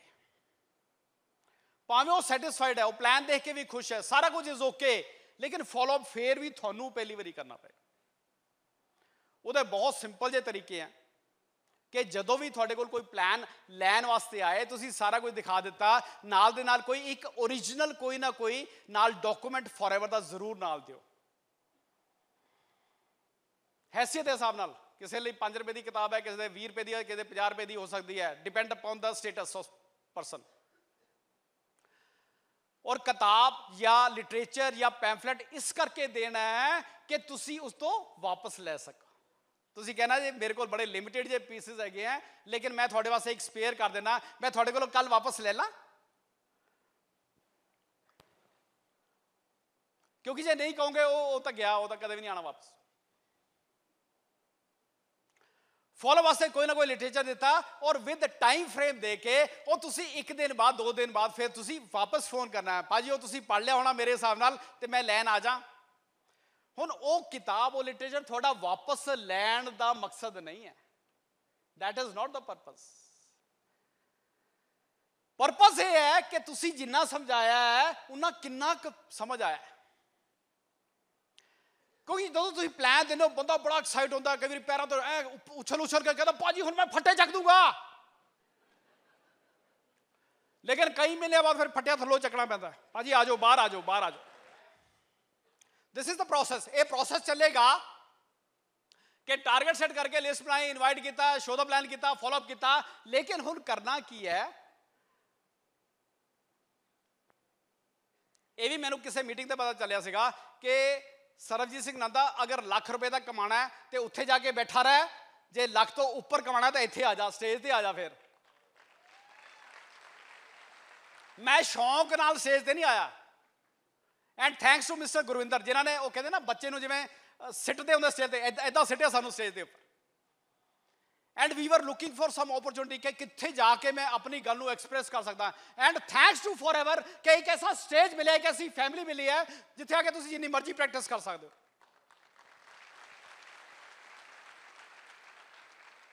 ਹੁਣ ਕੀ ਹੋਏਗਾ ਤੁਸੀਂ ਇਸੇ ਚੀਜ਼ ਨੂੰ ਹੀ ਡੁਪਲੀਕੇਟ ਕਰ ਤੁਸੀਂ ਟਾਰਗੇਟ ਸੈੱਟ ਕਰ ਲਿਆ, ਆਪਣੇ ਨੀਚੇ ਟਾਰਗੇਟ ਸੈੱਟ ਕਰਵਾ ਦਿਓ। ਤੁਹਾਨੂੰ ਲਿਸਟ ਬਣਾਣੀ ਆ ਗਈ, ਆਪਣੇ ਨੀਚੇ ਲਿਸਟ ਬਣਾਣੀ ਸ਼ੁਰੂ ਕਰ ਦਿਓ। ਤੁਹਾਨੂੰ ਇਨਵਾਈਟ ਕਰਨਾ ਆ ਗਿਆ, ਨੀਚੇ ਲੋਕਾਂ ਨੂੰ ਇਨਵਾਈਟ ਕਰਨਾ ਸ਼ੁਰੂ ਕਰ ਦਿਓ। ਤੁਹਾਨੂੰ ਸ਼ੋ ਦਾ ਪਲਾਨ ਆ ਗਿਆ, ਨੀਚੇ ਪਲਾਨ ਦੇਣਾ ਸ਼ੁਰੂ ਕਰ ਦਿਓ। ਤੁਹਾਨੂੰ ਫਾਲੋ ਅਪ ਕਰਨਾ ਆ ਗਿਆ, ਤੁਸੀਂ ਆਪਣੇ ਨੀਚੇ ਫਾਲੋ ਅਪ ਕਰਨਾ ਸ਼ੁਰੂ ਕਰ ਦਿਓ। ਜੋ ਚੀਜ਼ ਸਾਨੂੰ ਆ ਗਈ, ਉਹ ਐਜ਼ ਇਟ ਇਜ਼ ਦੇ ਨੀਚੇ ਸਿਖਾਣੀ ਸ਼ੁਰੂ ਕਰ ਦੇਾਂਗੇ ਫਿਰ ਬਿਜ਼ਨਸ ਤੁਹਾਡਾ ਐਕਸਪਲੋਡ ਕਰੇਗਾ।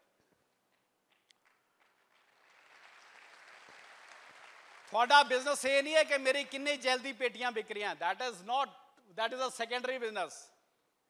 ਤੁਹਾਡਾ ਬਿਜ਼ਨਸ ਇਹ ਹੈ ਕਿ ਰੋਜ਼ ਸਵੇਰੇ ਕਿੰਨੇ ਲੋਕ ਆਪਣੀ ਪ੍ਰੈਜੈਂਟੇਸ਼ਨ ਫਾਈਲ ਲੈ ਕੇ ਘਰੋਂ ਬਾਹਰ ਨਿਕਲਦੇ ਆ ਫੋਰਐਵਰ ਦੱਸਣ ਵਾਸਤੇ। That ਇਜ਼ ਦਾ ਬਿਜ਼ਨਸ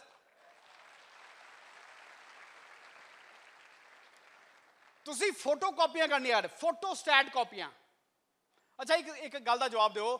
ਅਗਰ origignal ਕਾਪੀ ਦੇ ਵਿੱਚ ਕਿਤੇ ਨਿਸ਼ਾਨ ਹੈ ਕਾਲੇ ਰੰਗ ਦਾ, ਕਿ ਥੱਲੇ ਕਾਪੀ ਸਾਫ਼ ਨਿਕਲੇਗੀ? ਨਹੀਂ ਨਿਕਲੇਗੀ। ਨਹੀਂ ਨਿਕਲੇਗੀ। ਜਿੰਨੀਆਂ ਮਰਜ਼ੀ ਕਾਪੀਆਂ ਕੱਢੀ ਜਾਓ ਉਦਾਂ ਹੀ ਨਿਕਲੀ ਜਾਣਗੀਆਂ। ਇਹਦਾ ਮਤਲਬ ਅਸੀਂ ਕੰਮ ਕਿਤੇ ਕਰਨਾ ਹੈ? origignal ਕਾਪੀ ਤੇ ਕੰਮ ਕਰਨਾ। ਆਪਣੇ ਉੱਪਰ ਕੰਮ ਕਰਨਾ ਸੈਲਫ ਤੇ ਕੰਮ ਕਰਨਾ ਮੈਂ ਆਪਣੀ ਕਾਪੀ ਠੀਕ ਕਰਾਂਗਾ, ਨੀਚੇ ਆਟੋਮੈਟਿਕਲੀ ਠੀਕ ਨਿਕਲਦੀਆਂ ਚਲੀਆਂ ਜਾਣਗੀਆਂ।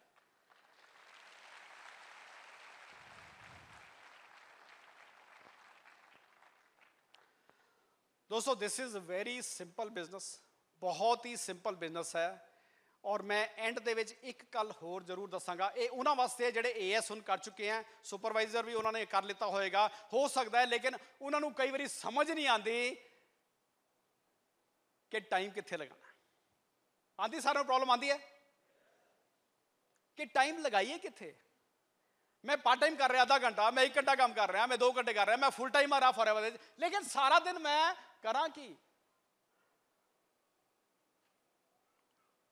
ਉਹਦੇ ਵਾਸਤੇ ਬੜਾ ਸਿੰਪਲ ਜਿਹਾ ਫਾਰਮੂਲਾ ਇਨੀਸ਼ੀਅਲੀ ਅਗਰ ਤੁਸੀਂ ਬਿਲਕੁਲ ਹੀ ਸਟਾਰਟ ਕਰ ਰਹੇ ਹੋ, ਤੁਸੀਂ ਆਪਣੇ ਵਰਗੇ 4-5 ਬੰਦੇ ਲੱਭਣ ਦੀ ਕੋਸ਼ਿਸ਼ ਕਰੋ। ਕਿੰਨੂੰ ਲੱਗਦਾ ਹੈ ਕਿ 125 ਕਰੋੜ ਦੀ ਜਨਸੰਖਿਆ ਦੇ ਵਿੱਚ ਮੈਨੂੰ 5 ਬੰਦੇ ਮਿਲ ਜਾਣਗੇ? ਕਿੰਨੂੰ ਲੱਗ- ਕਿਹਨੂੰ ਲੱਗਦਾ ਹੈ? ਆ ਯਾ ਡੈਫੀਨਿਟਲੀ ਯੂ ਆਰ ਵਿਨਰ ਕਿਉਂਕਿ ਕੱਲਾ ਕੱਲਾ ਬੰਦਾ ਫੋਰਐਵਰ ਦੇ ਵਿੱਚ ਤੁਹਾਡੇ ਵਾਸਤੇ ਲੱਖ ਰੁਪਏ ਦੀ ਪੈਨਸ਼ਨ ਹੈ ਸਾਰੀ ਜ਼ਿੰਦਗੀ ਵਾਸਤੇ ਔਰ ਆਉਣ ਵਾਲੀ ਜਨਰੇਸ਼ਨ ਵਾਸਤੇ that is power of forever living products ਇਹਦਾ ਮਤਲਬ ਆਪਾਂ ਸਾਰੀ ਦੁਨੀਆ ਨੂੰ ਕਨਵਿੰਸ ਨਹੀਂ ਕਰਨਾ ਅਸੀਂ ਕਰ ਵੀ ਨਹੀਂ ਸਕਦੇ ਕਰਨ ਦੀ ਲੋੜ ਵੀ ਨਹੀਂ ਹੈ ਅਸੀਂ ਸਿਰਫ ਆਪਣੇ ਆਪ ਨੂੰ ਕਨਵਿੰਸ ਕਰਨਾ ਆਪਣੇ ਆਪ ਨੂੰ ਕਨਵਿੰਸ ਕਰਨਾ ਕਨਵਿੰਸ ਕੀ ਕਰਨਾ ਹੈ ਕਿ ਮੈਂ ਇੱਕ ਬਹੁਤ ਨੇਕ ਕੰਮ ਕਰ ਰਿਹਾ। ਮੈਂ ਲੋਕਾਂ ਦੀ ਹੈਲਥ ਵਾਸਤੇ ਬਹੁਤ ਅੱਛਾ ਸੋਚ ਰਿਹਾ। ਮੈਂ ਲੋਕਾਂ ਦੇ ਕੈਰੀਅਰ ਵਾਸਤੇ ਬਹੁਤ ਅੱਛਾ ਸੋਚ ਰਿਹਾ। ਸੋਚ ਸਕਦੇ ਆਪਾਂ ਸਾਰੇ?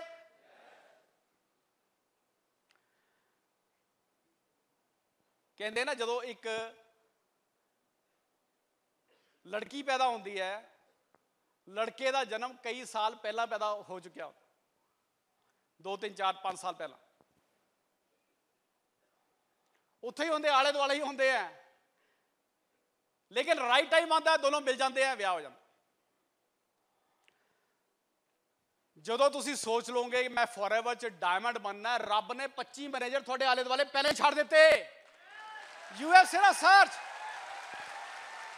ਤੁਸੀਂ ਸਿਰਫ ਸਰਚ ਕਰਨੀ ਹੈ ਉਹਨਾਂ ਦੀ।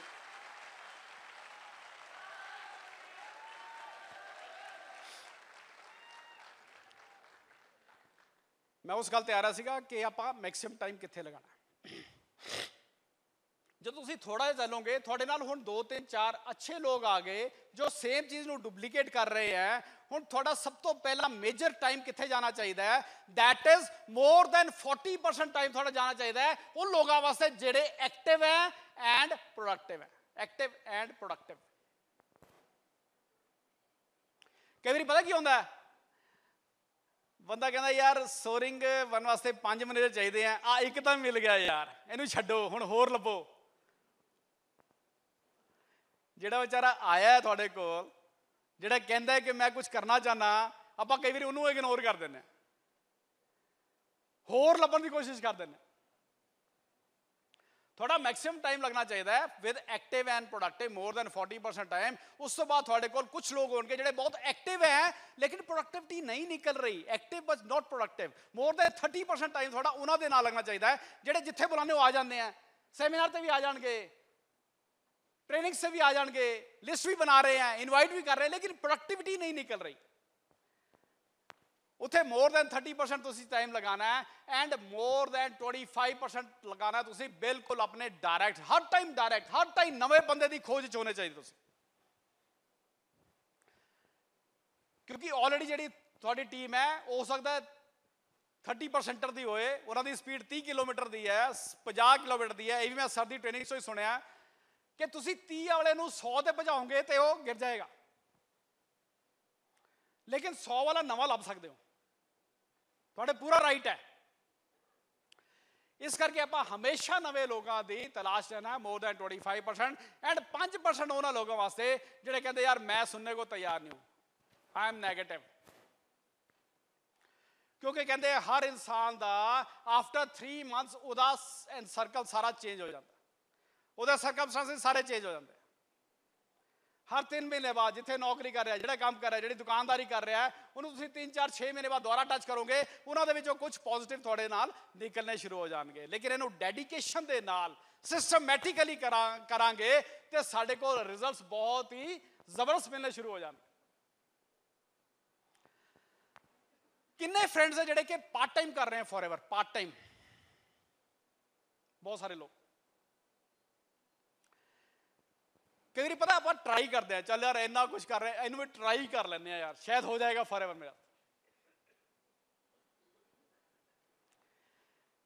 ਕਈ ਵਾਰੀ ਸਾਨੂੰ ਸ਼ੱਕ ਹੋ ਜਾਂਦਾ ਹੈ, ਇਤਨੀ ਦੁਨੀਆ ਕਾਮਯਾਬ ਹੋ ਰਹੀ ਹੈ, ਪਤਾ ਨਹੀਂ ਮੈਂ ਹੋਊਗਾ ਕਿ ਨਹੀਂ ਹੋ ਕਈ ਵਾਰੀ ਇਹ ਲੱਗਦਾ ਹੈ, ਸਾਰੇ ਕਾਮਯਾਬ ਹੋ ਰਹੇ ਆ, ਲੇਕਿਨ ਮੇਰਾ ਨਹੀਂ ਕੰਮ ਹੋ ਰਿਹਾ ਯਾਰ। ਇੱਕ ਨਾ ਪੇੜ ਤੇ ਇੱਕ ਬਾਂਦਰ ਤੇ ਬਾਂਦਰ ਹੀ ਰਹਿੰਦੇ ਸੀ। ਬਾਂਦਰੀ ਨੇ ਸਵੇਰੇ ਕਿਹਾ ਵੀ ਮੈਨੂੰ ਸੁਪਨਾ ਆਇਆ, ਸੂਰਜ ਨਿਕਲਣ ਤੋਂ ਪਹਿਲਾਂ ਜੇ ਥੱਲੇ ਆਪਾਂ ਨਹਿਰ ਦੇ ਵਿੱਚ ਛਾਲ ਮਾਰ ਦਿਆਂਗੇ, ਤੂੰ ਰਾਜਕੁਮਾਰ ਬਣ ਜਾਏਗਾ ਤੇ ਮੈਂ ਰਾਜਕੁਮਾਰੀ ਬਣ ਜਾਵਾਂਗੀ ਕਹਿੰਦਾ ਵੈਰੀ ਸਿੰਪਲ ਹੈ ਤਾਂ, ਰੋਜ਼ ਛਾਲ ਮਾਰੀ ਦੀ, ਅੱਜ ਵੀ ਮਾਰਦੇ ਨੇ, ਕੋਈ ਦਿੱਕਤ ਨਹੀਂ। ਜਦੋਂ ਸਵੇਰ ਹੋਣ ਲੱਗਦੀ ਹੈ, ਰਾਜਕੁਮਾਰੀ ਉਧਰੋਂ ਇਸ਼ਾਰਾ ਕਰਦੀ ਹੈ, ਬਾਂਦਰੀ ਜਿਹੜੀ ਹੈ, ਉਹ ਥੱਲੇ ਡਾਈਵ ਕਰ ਜਦੋਂ ਪਾਣੀ ਚੋਂ ਬਾਹਰ ਨਿਕਲਦੀ ਹੈ ਤਾਂ ਉਹ ਰਾਜਕੁਮਾਰੀ ਬਣ ਗਈ। ਆਲੇ ਦੁਆਲੇ ਦੇਖਦੀ ਹੈ ਬਾਂਦਰ ਕਿੱਥੇ ਗਿਆ ਬਈ? ਕਿਤੇ ਨਜ਼ਰ ਨਹੀਂ ਆਉਂਦਾ। ਉੱਪਰ ਦੇਖਦੀ ਹੈ ਉਹ ਪੇੜ ਤੇ ਹੀ ਹੋਇਆ। ਕਹਿੰਦੀ, ਇਹ ਇਹ ਬਾਂਦਰ ਕਿਆ ਕੀਤਾ ਤੂੰ ਇਹ? ਛਲਾਂਗ ਕਿਉਂ ਨਹੀਂ ਮਾਰੀ? ਕਹਿੰਦਾ, ਮੇਰੇ ਮਨ ਵਿੱਚ ਸ਼ੱਕ ਆ ਗਿਆ। ਪਤਾ ਨਹੀਂ ਰਾਜਕੁਮਾਰ ਬਣੂਗਾ ਕਿ ਨਹੀਂ ਬਣੂ ਉਹ ਕਹਿੰਦੀ, ਸ਼ੱਕ ਤਾਂ ਠੀਕ ਹੈ, ਤੂੰ ਬਾਂਦਰ ਤਾਂ ਹੈ ਹੀ ਹੈ ਨਾ। ਜੇ ਛਾਲ ਮਾਰ ਦਿੰਦਾ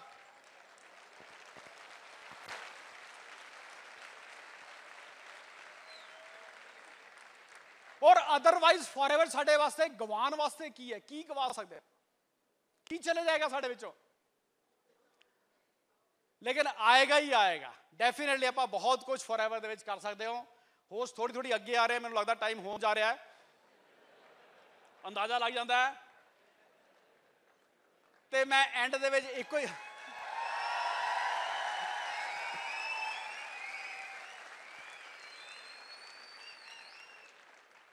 ਵਾਈਂਡ ਅਪ ਕਰਨ ਤੋਂ ਪਹਿਲਾਂ ਮੈਂ ਜ਼ਰੂਰ ਸ਼ੁਕਰੀਆ ਅਦਾ ਕਰਦਾ ਉਸ ਪਰਮਾਤਮਾ ਦਾ, ਆਪਣੀ ਅਪਲਾਈਨਸ ਦਾ।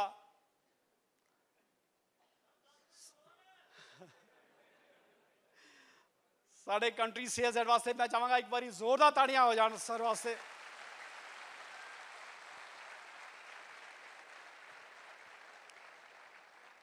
ਐਂਡ ਮਿਸਟਰ ਰੈਕਸ ਵਾਸਤੇ ਮੈਂ ਚਾਹਾਂਗਾ ਖੜੇ ਹੋ ਕੇ ਇੱਕ ਵਾਰੀ ਸਟੈਂਡਿੰਗ ਓਵੇਸ਼ਨ ਦੇ ਨਾਲ ਇੱਕ ਐਸਾ ਇਨਸਾਨ। ਕੰਮ ਮਿੱਤਰਾਂ ਦੇ ਵੱਡੇ ਬੱਲੀਏ ਕੰਮ ਮਿੱਤਰਾਂ ਦੇ ਵੱਡੇ ਬੱਲੀਏ ਨਹੀਂ ਉਹ ਕਰਦੇ ਨਜਾਇਜ਼ ਗੱਲਾਂ ਕਿ ਉਹ ਇੱਕ ਐਸਾ ਇਨਸਾਨ ਹੈ, ਜਿਨ੍ਹਾਂ ਨੇ ਮੇਰੇ ਵਰਗੇ ਪਤਨੀ ਸੈਂਕੜਾ ਹਜ਼ਾਰਾਂ ਲੱਖਾਂ ਲੋਕਾਂ ਦੀ ਜ਼ਿੰਦਗੀ ਔਰ ਉਹਨਾਂ ਦੇ ਪਰਿਵਾਰ ਬਦਲ ਦਿੱਤੇ। And salute to that person ਜਿਨ੍ਹਾਂ ਕਰਕੇ ਆਪਾਂ ਅੱਜ ਇੱਥੇ ਇਕੱਠੇ ਹੋਏ ਆ ਔਰ ਐਂਡ ਦੇ ਵਿੱਚ ਮੈਂ ਇੱਕੋ ਹੀ ਗੱਲ ਕਰਾਂਗਾ ਕਿ I am Sarabjeet Singh Nanda I am Forever ਨਹੀਂ ਕੀ ਤੁਸੀਂ ਮੇਰੇ ਨਾਲ ਰਾਜ਼ੀ ਹੋ? ਕੀ ਸਾਰੇ ਬੋਲਣ ਲਈ ਤਿਆਰ ਹੋ? We are Forever we are Forever we are Forever thank you thank you very much